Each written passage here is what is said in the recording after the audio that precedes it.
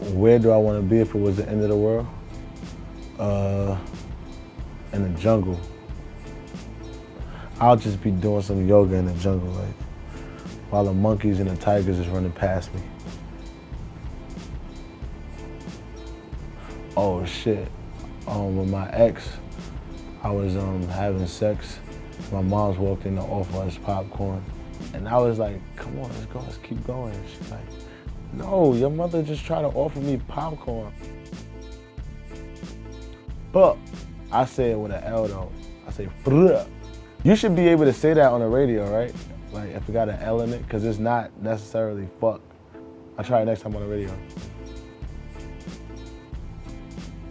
I would bring the whole ASAP mob because I think those are some interesting motherfuckers.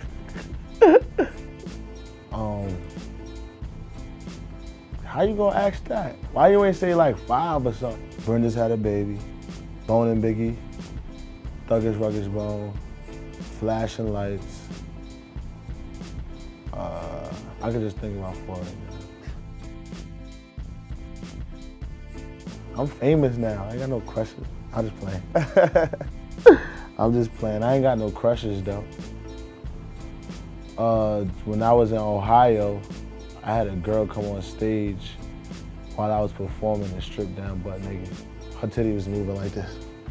While she was jumping, her titties just like this, going clockwise.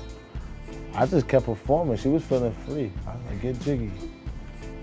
Hey man, this is ASAP Ferg and I'm a complex individual.